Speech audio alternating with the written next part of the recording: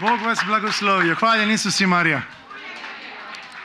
Evo prije nego što ja bilo što rečem, ja ću ovako reći. Dođi duše sveti, dođi po moćnom zagovoru bezgrešna srca Marije, tvoje preljubljene zaručnice. Idemo zajedno. Dođi duše sveti, dođi po moćnom zagovoru bezgrešna srca Marije, tvoje preljubljene zaručnice. Dođi duše sveti, dođi po moćnom zagovoru bezgrešna srca Marije, tvoje preljubljene zaručnice. Evo neka Duh Sveti stavi meni usta riječi koje su potrebne samo na slavu Isusa Krista i da uho vaše čuje ono što trebate čuti, što Duh kaže, ovo čuj. Prije svega želim pohvaliti ovaj band koji fantastično svira, molim vas jedan aplauz za band i za zbor. Baš sam se iznenadio kako zvuče. Kada je riječ o svjedočanstvu, ja sam prije moja su svjedočanstva bila ono dva sata, pa sam ja ovo, pa sam ja ono, pa sam ja ovako, pa sam ja onako. Neki dan sam oborio rekord, u pet minuta sam uspio reći sve što je Bog napravio u mom životu. Bila je u Kuni Deloriti, uh, to je u Kuni Pelješkoj se slavila uh, gospa Delorita ili od Loreta. I onda sam tamo imao pet minuta za svjedočanstvo. Ali je dobro. Uspio sam reći što je važno. Kako započeti? Evo ja ću ovako započeti. Svaki čovjek je rođen da pronađe Boga, da upozna Boga, da upozna mu Bog pomogne da, da samog sebe upoznaš i da ideš za Bogom, da ideš za Isusom. Moj život je započeo 80. u Dubrovniku, rođen jedinac od oca i majke. Onda je 88. tragično nastradao moj tata, poginuo je prometnoj nesreći.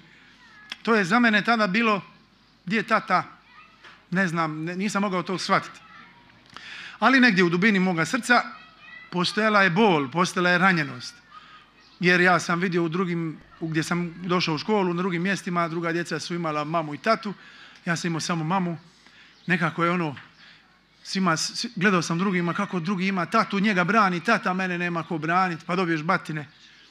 I onda osjećaj manje vrijednosti koji se polako onako u meni, u mom srcu stvarao kroz godine, pa onda je došao rat. Cijeli rat smo bili u Dubrovniku, živjeli smo kod pokojene babe i džeda.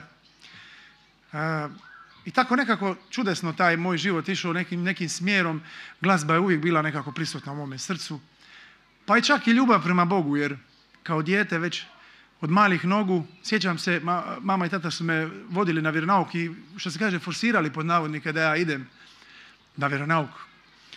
I onda sam jednom, ostalo mi je to osjećanje, zamislite, ne znam koliko sam imao, osam godina, tata je poginuo kad sam imao osam godina, ostalo mi je kad je Padre Stipe pokojni. Svi su vidjeli, djeca me sa žalom gledaju, a ja onako nasmiješen, ne znam što znači kad neko umre. Ja kažem, pa Padre Stipe, pa ja ću moga tatu vidjeti na nebu. I onda je on počeo plakati. I dan danas se sjećam tog trenutka kako su djeca u čudu tada ostala. Kako ja to, eto, nešto vjerujem, ali to je bila ta dječačka mašta to je bila, ajmo reći, neka vjera. To je ono što kaže Isus, da budemo svi djeca, da povjerujemo kao malo dijete. Koje, kao ova djeca koja su plesala ovdje, koja vjeruju. I onda ide život, teče svojim tokom, dolazi, dolazi pubertet, dolazi krizma. I to je bio zadnji susret sa mm, crkvom, majkom. Rekao sam, goodbye crkvo, sve smo odradili, sad se vidimo na vjenčanju. I naravno loša društva, nema šta nisam probao. Nema kakav noćni život nisam bio. Mati na posao, ja izvani, ono, mimo ilazimo se. Težak, ono, život tražiš se u svemu. U brzoj vožnji, Bog me spasio, teška nesreća bila, ono, nikome ništa, Bogu hvala. Idemo dalje, a ja prepoznajem da se nešto u mom glasu događa, da nešto, ono, a, da ima toga, da se mogu ja možda malo pjevati, da imam tu nekakvog potencijala. I onda sam počeo se tražiti u pjevanju. I onda je krenulo moje, moj identitet u glazbi. Upisao sam pomorsku školu, silom prilika, bio je jedan u familiji jedan dundo, mi to kažemo, jeli, od, od moje, u biti od moje, od babine sestre muž je navegavao i on je rekao, a on je bio pomorac i kapo makine, ono, a crto mi brodove, ma ti ćeš biti makinist, to ti je najbolje, lijepo, ideš na brod, navegavaš, super će ti biti. I privuku me, ja upišem pomorsku školu. I završim pomorsku školu, tehničar za brodostrojarstvo, pođem na brod, obiđem cijeli svijet, nekoliko puta, navegavam dvije godine, dođem do trećeg časnika stroja Jednom sam pjevao dole na dnu, gdje motor, ono, to je ogroman motor, zamislite 20.000 konja. I ja pjevam dole o sole mi ono... A, a gore ovaj čif mislio da se nešto dogodilo, dotrčao dole. Nikada si to više napravio, ja sam mislio da te zamajac uvatio. I dobro je, tad je bilo, tad su mi već govorili, znači nemoj ništa više radi, sjedi u control room i samo pjevaj. Dalmatinac sam. I tako ja pjevam. Pola ja te svoje asistenture, asistenture otpjevo, nisam ništa morao raditi, ovi svi drugi zavidjeli, kaže ovaj samo pjeva. I došao ja na drugi brod, došao na Njemca, ali Njemaca nema pjevanja, Njemaca arbajt.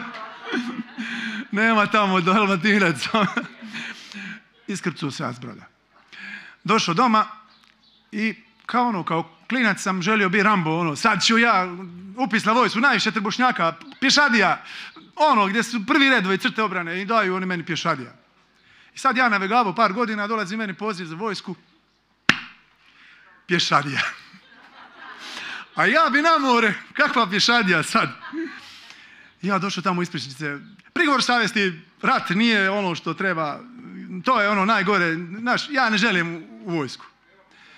I nema pišadje, nema vojske. Ali ono, stvarno sam želio vojsku. Želio sam, ja sam bio imponiran tigrovi, zenge, sve ono, znaš, ja sam to nosio. Sam doma arsenal u ratu metaka, ono, imao sam od malo kalibarskog do flaka.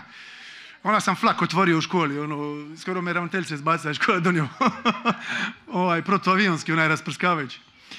Svašta sam to radio. I, dobro.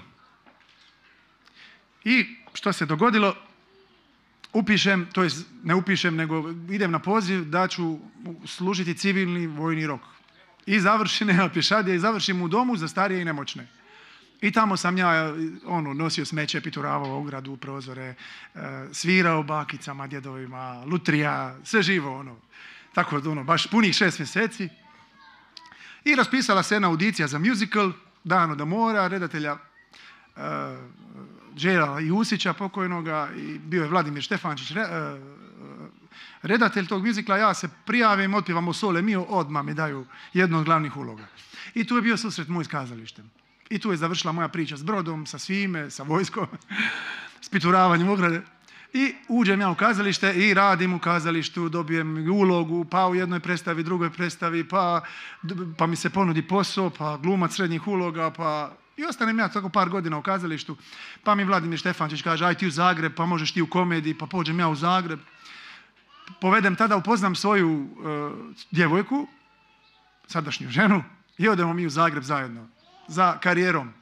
Živimo u Zagrebu i onda ide krene moja karijera. Pjevam na jednom festivalu osvojim nagradu. Na Zagreb Festu pojavim se kao debitant osvojim nagradu. Tamo sve poznati pjevači, Goran Karan, Kemal Monteno, a ja pometem nagradu prvu.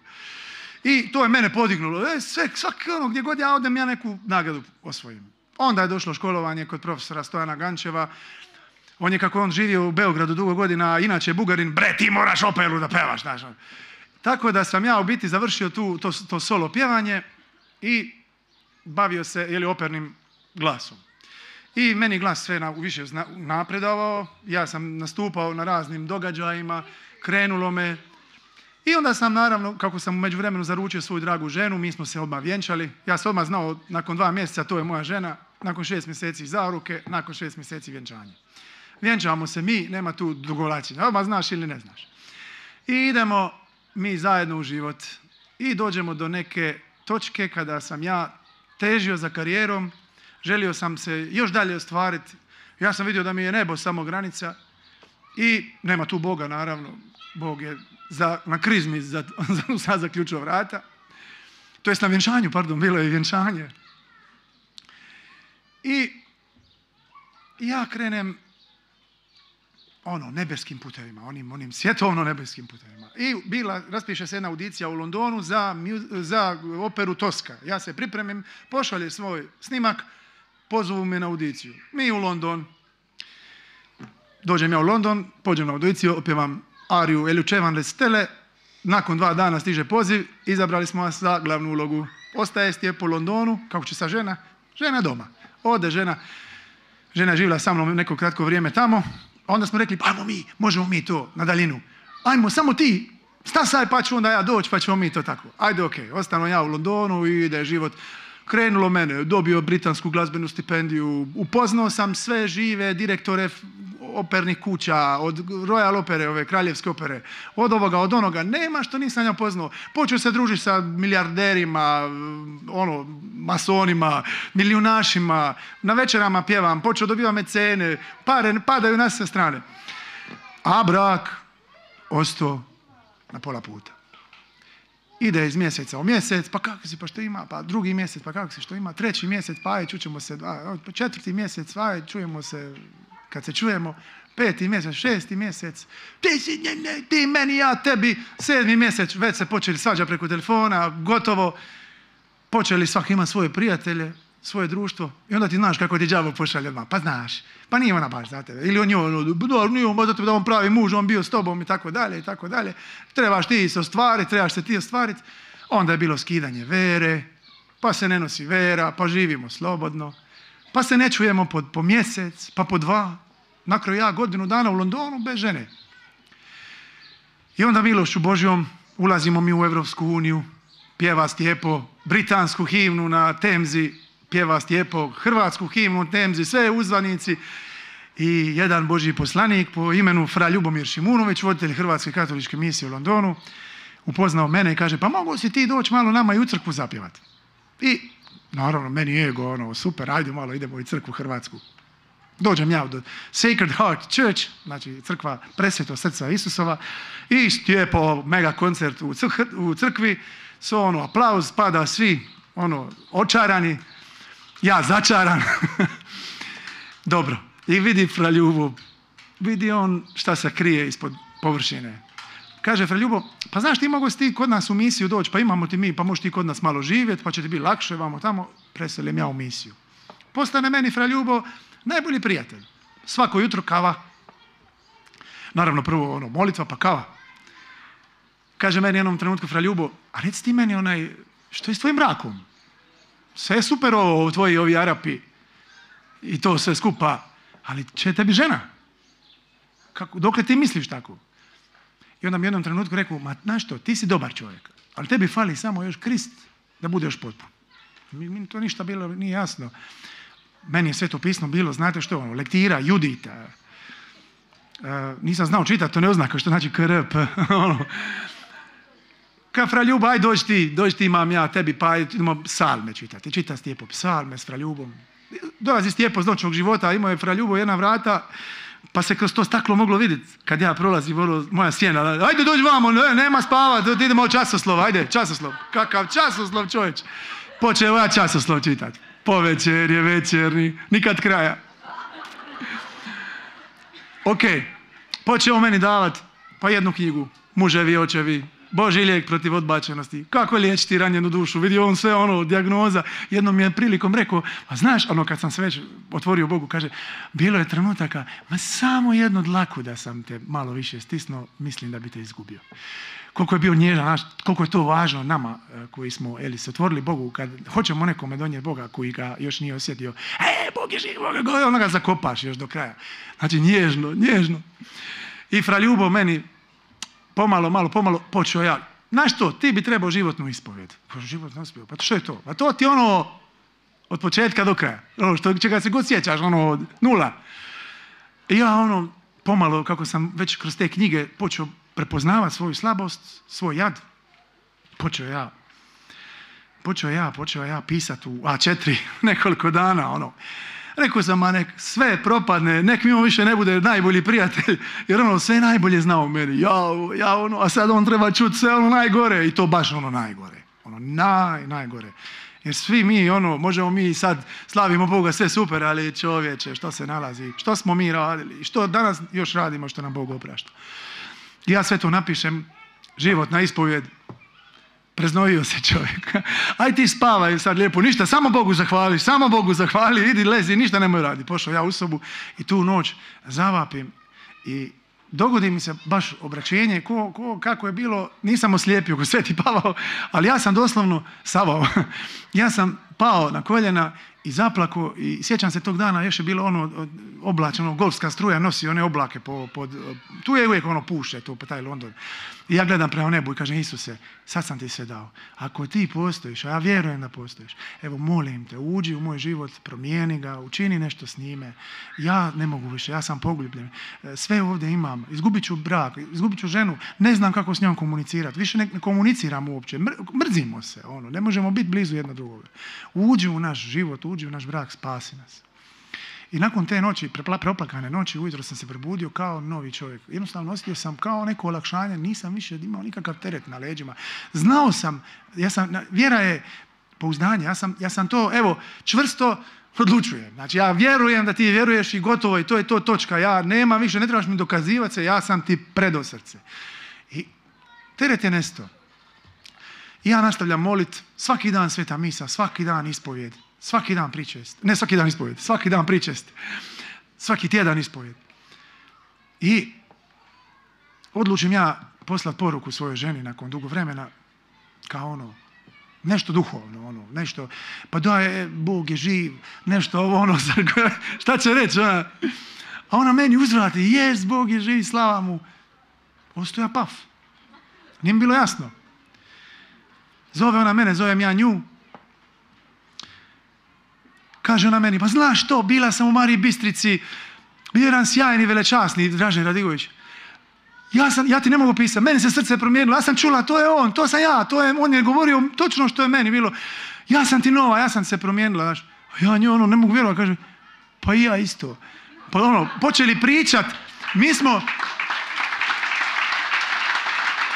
Slava Bogu. Mi smo se znali svaki dan čuti i pričati satima, nakon njezinog posla i mojih obaveza u Londonu, satima bi se samo nazvali, nismo mi muž žena, mi smo brat i sestra po Kristu. I sad mi molimo, sad mi pričamo o Isusu, otvori ovo, što kažeš ovo na evanđelju ovaj, ajme, koliko, su, koliko tu nisam prije vidjela, i to ti je super, aj ovo, ajmo jedan psalam zajedno, ajde, lako noć je, Bog te blagoslovio, Bog i tebe blagoslovio, puf. I idemo tako svaki dan malo pomalo, malo pomalo i u jednom trenutku ja kažem, kaže ona, kažemo jedan drugome, kaže, pa ne možeš vjerovati, imam osjećaj da si, a mi smo tada već šest godina u braku. Ja kažem, nema, imam osjećaj kao da nikad bliže nismo bili. I onda mi se ona sjeti, onaj trokut, ono kaže što su dvoje bliže Isusu, muž i žena, onda su bliže jedno drugom. Ja kažem, imam osjećaj da ti sad ovdje si u sobi sa mnom, kaže ja. Ma znaš što, pusti ti London, pusti ti karijeru, ja sve otkazujem, zovem tamo ove agente, otkazujem West End, sve sam otkazao. Poludili, nisu vjerovali šta se događa. Odo ja doma. Došao ja u Zagreb. A došao u Zagreb s kombijem, jer sam tamo prenio sve živo, ono, nema mašina za robu, ono, samo što nisam, ono, kuću cijelu, frižider, razglas, sve sam živo tamo prenio, trebao je dva kombija su vozila to, ovaj, dok su došla do Zagreba. Došao ja doma, nema što gdje staviti. Došao ja, došao ja kod žene i, prva scena, malo, malo, malo ćemo i unijeti humora, ipak je ovo mladi fest, moramo se radovati. I ja otvorim vrata i taj prvi naš susret pad moj na koljena, zagrem nju za noge i reče joj, plaćući, ženo moja, oprosti mi, ja sam bio užasan muž. Ona klekne i padne pored mene, zagrli me, mužu moj, oprosti mi, ja sam bila užasna žena. I od tog trenutka Isus je ušao u naš brak, spasio nas, vratio nas i dan danas smo u Kristu. Aleluja.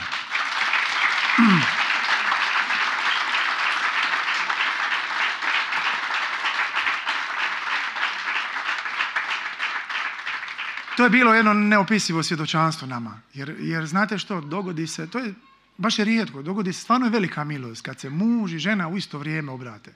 Nama je to bilo tako svjedočanstvo da nama ništa drugo nije više trebalo kakva medicina, kakva psihologija, sve to super, ali da te neko tako, ideš na savjet, bračni savjet, ono, neki tamo, nova osoba. Znaš, ja vidim ženi da ona to više nije ona ista osoba. Ona vidi u meni da nisam ja isti. I počnemo jedan potpuno novi život. Živimo zajedno, idemo u Mariju Bistricu, ono, jedno vrijeme smo bili u Dobrom pastiru, pa smo tamo e, slavljenički tim, što slavimo mi. I živimo u Zagrebu i sad je bilo pitanje kako preseliti ovaj, kako, što ćemo sad? Hoćemo ostati u Zagrebu ili se vratiti u Dubrovnik? Što ćemo raditi? Čime ćemo se baviti kad se vratimo u Dubrovnik? Pa što ću ja tamo raditi u Dubrovniku? Gdje ću pjevati? U restoranu? Što ću ja raditi?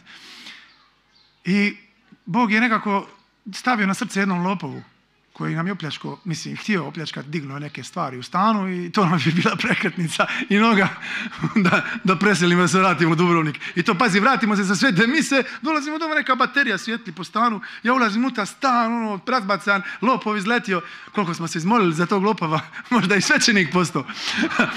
ovaj, ali uglavnom, nama je to bila prekretnica i otišli mi za Dubrovnik, nećemo mi strah nas, ono, pa smo razmišljali pa ćemo staviti rešetke, pa ćemo staviti kameru, a što ako on kameru ugasi, što ako, ako stavimo, ako stavimo pitbula, a što ako on pitbullu baci hranu i, i, uđe unutra. Znači sve smo kombinacije prošli i rekli smo Bože ti nas želiš nazad u Dubrovnik. Dođemo u Dubrovnik, šta ćemo raditi tamo? I onda smo se počeli moliti, bilo nam jako teško, vratit se. Pazite, ono, iz Londona u Zagreb je već kulturni šok, ono, ne znaš kako si u selo došao. Onda iz Zagreba u Dubrovnik, kod nas je došao baš ono u selo sela.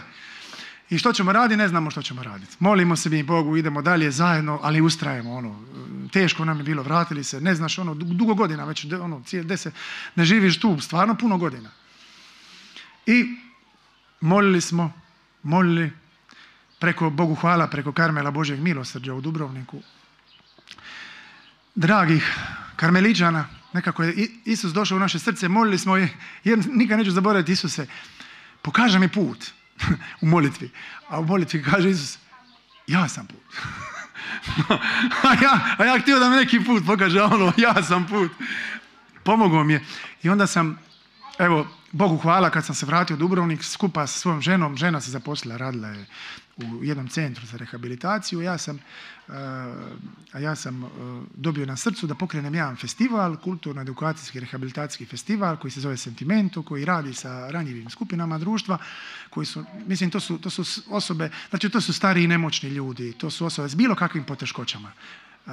I tu smo pokrenuli i uključili smo ih u društvo. Imali smo glazbene radionice svako ljeto i onda bi kao grand finale e, zadnji dan tog festivala bi bio spoj njih, nas sa simfonijskim orkestrom, sa televizijom, sa sve ono, sad mi to sve zajedno radimo. Onda je došao i taj projekt Unison World, došlo mi je na srce da se javim na palijativni odjel opće bolnice Dubrovnik i to, to mi je došlo na srce kad sam upoznao jednog divnog momka koji je nažalost umro, teško je bolovo i poznali smo se vrlo kratko. Došla je njegova sestra i samo rekla Stjepo, ne znam zašto, ne znam zašto tebe treba, treba mi neka tvoja pomoć, ne znam zašto, ali evo, samo sam došla, ne znam što mi treba, ali molim te, bar mi je bolestan, ali evo, evo, nešto mi treba. Ja onaj, meni na srcu dođe, ajdemo mi, pa ćemo mi, tvoga brata, idemo u zajednicu u Efata, dole Don Marije Lučić, onda smo se molili za njega molili, molili, molili čovjek ono u deset dana zavolio Boga više nego, ne znam, neko možda u deset godina. I on završi na odjelu palijative i ja ga posjetim sa svojom ženom, tamo su mu bile sestre i onda sam ja njemu pričao, ovaj, išao sam ga utješiti kao ono, kažem ja vidiš kako tebi Bog dao sestre, imaš tri sestre, jer ja nemam brata ni sestru. Htio sam ono, nešto što, što je meni kao teže sad u tom trenutku nego što je njemu. A on onako mene, ono, već na pola puta kaže, imaš ti dragoga Boga gore. I nakon tog trenutka Bog mi je stavio u srce da ja posjećujem bolesnike u bolnici, da im pjevam, da sviram, da donosim radosnu vijest. I onda sam dolazio redovito na opću bolnicu, ulazio u sobe gdje su ljudi koji su na odlasku iz ovoga svijeta i onda, znaš, nisu svi vjernici, i bilo je i ateista koji su umirali.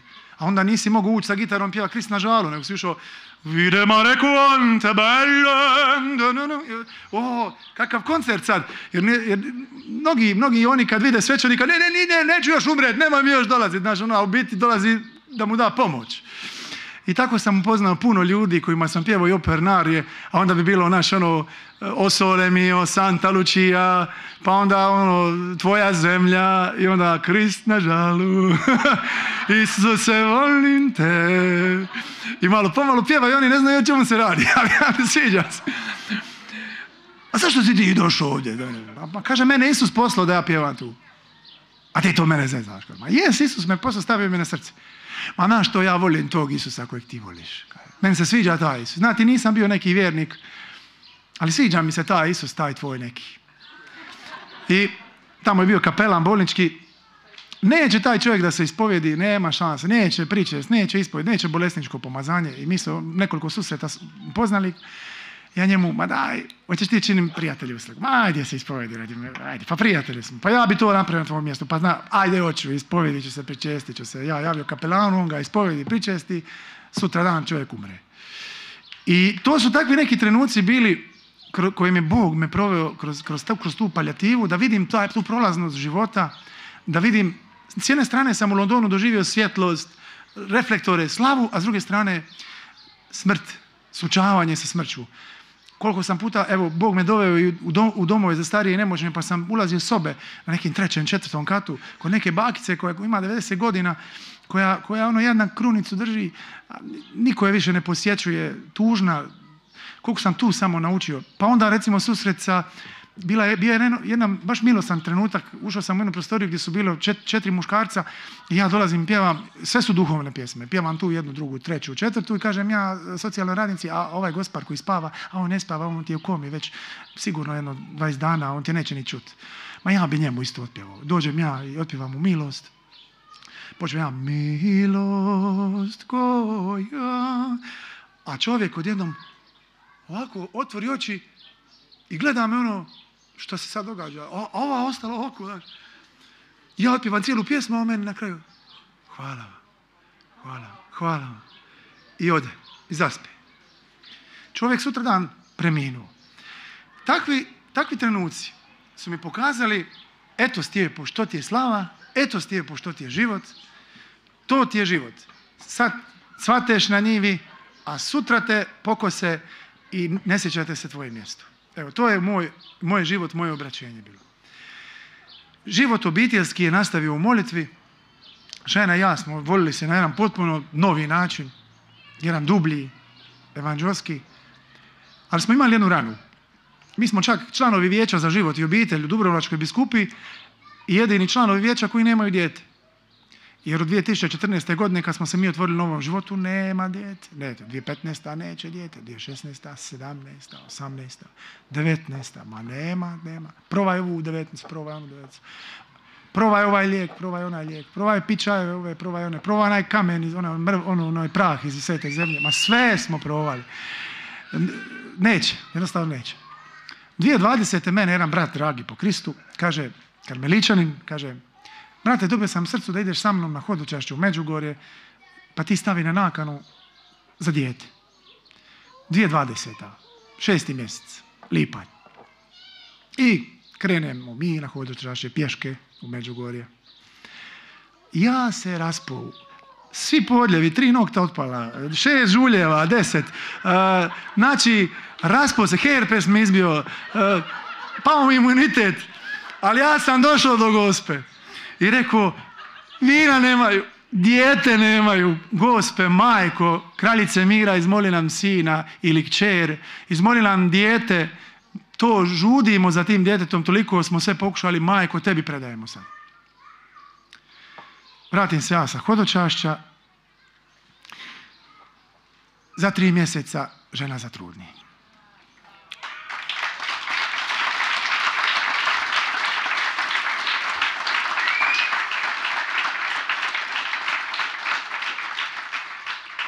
Ja sam u molitvi dobio da će biti sin.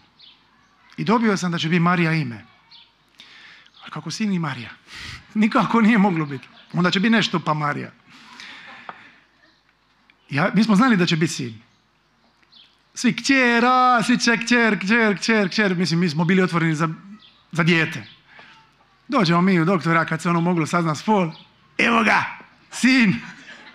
mi došli doma i danas, Bogu hvala, nakon 13 godina braka, a zamislite koja, koja simbolika, ja vam inače ne volim te numerologije, to, to, ne, ne, ali ima nešto nekad u tome. Pazite, 40 godina Međugorja, mi 40 godina života, e, 13 godina braka, e, 13 je gospin broj. Uh, šta je još? Je li još nešto? znači, toliko se nekako sve to povezalo i rodi se Matej, Boži dar, Marija, koji je stvarno izmoljeno dijete, Boži blagoslov, evo ja ga blagosljavim ovim putem, sada njega i njegovu mamu Jelenu doma u Dubrovniku i hvala ti dragi Bože što si tako vjeran i što si nam dao dijete. E, predivno dijete. Prošli put sam ga na svjedočanstvu digo, ovako sam ga donio ovdje, onda gleda malo, e, počeo plakati odmah kad vidio masu. Ali toliko je predivan i toliko divno dijete i Bog nam je bio vjeran i dao nam dijete nakon 13 godina. Znači, ovo je živo svjedočanstvo. Bog je posvjedočio, prvo nam je spasio brak. Prvo nam je spasio život. Jer ko zna gdje bi naš život išao. Onda nam je spasio brak. Onda je spasio, onda nam je dao potomstvo. I danas je svakom trenutku s nama. Od jutra do mraka. Često ga razočaramo. To što smo povjerovali, što smo se obratili, ne znači da smo sveti, ali znači da smo na putu prema svetosti. I križeva ima puno. Svak, svaki ima svoj križ. Baš sam danas jednom razgovoru sa dragim bratom po Kristu razmišljao kao da je život jedan hangar, kao ovako, možda još veći od ovoga, možda veći od onoga. I unutra su sve križevi. I mi uđemo u taj hangar i onda vidimo neki križ i kažemo, evo ga, ono je moj križ, kako je lijep. Tamo dođeš kad piše Ivo Ivić, a nije to tvoj križ. Onda se okreneš vamo, piše slijepo, gledaš neki grbavi križ. Ah, I onda moraš uzeti križ koji ti baš se ne sviđa. Evo, to je baš život sa gospodinom. Ali taj križ nas ispravlja. Uh, naš put bez Boga, tko zna gdje bi bio? Tko zna gdje bi bila moja žena? Tko zna gdje bi bio ja? Tko zna bi li se ikad Matej rodio? Ali Bog je u stanju od tog raspada sistema učini čudo. Isto kao na veliki petak. Kad gledamo Isusa na križu, evo sad, sad i propovijedam, nadam se da mi neće braća svećanici prigovoriti. Vidimo jedan raspad sistema. Vi učenici su van sebe. Evo to je naš život s Isusom. Naš život s Isusom izgleda nekad kao raspad sistema. Ali Bog je toliko čudesan. Ja često kažem da je veće čudo od zvijezda na nebu čudo kad neko srce Bog promijeni i kad ga privoli i kad ga vrati k sebi. Kad tu stotu ovcu vrati k sebi. I kad se mijenjaju životi. I nije nijedan, nijedan grijeh za ludu. I hvala ti Bože, završit ću svoje svjedočanstvo na ovaj način, da zahvalim dragom Isusu, osobno. Isuse ljubljeni. Hvala ti, zahvaljujući tebi ja sam ovdje. Zahvaljujući tebi su i ovi ljudi ovdje. Zahvaljujući tebi imamo život koji si nam dao. Zahvaljujući tebi ja pjevam tvoje pjesme. Zahvaljujući tebi te pjesme diraju mnoga srca. Možda i više nego što ja znam i bolje da ne znam, gospodine, radi moje poniznosti. To jest radi moje oholosti. Isuse, proslavi se u životu naših obitelji, proslavi se i dalje i proslavljaj se. Proslavljaj Oca Nebeskoga. Neka duh sveti, tvoj duh i duh očev u nama bukti vatrom. A neka nas majka tvoja Marija, ljubljena majčica naša, bezgrešna, čuva u tvome srcu da ne skrenemo s tvoga puta. I da nam evanđelje našeg života bude podsjetnik da nas ništa ne može razdvojiti od ljubavi tvoje od ljubavi očeve koja je u tebi. Kristu Isusu. Amen. Bog vas